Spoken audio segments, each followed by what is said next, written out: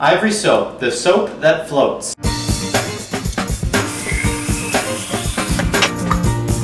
This really isn't the experiment that I wanted to show you today. You need a microwave safe plate and your bar of soap. Put it right in the middle there and you stick it in the microwave.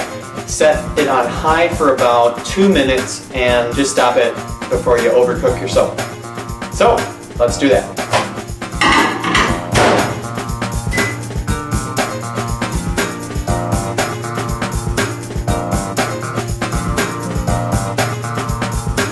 Think we can do better. Let's try it again.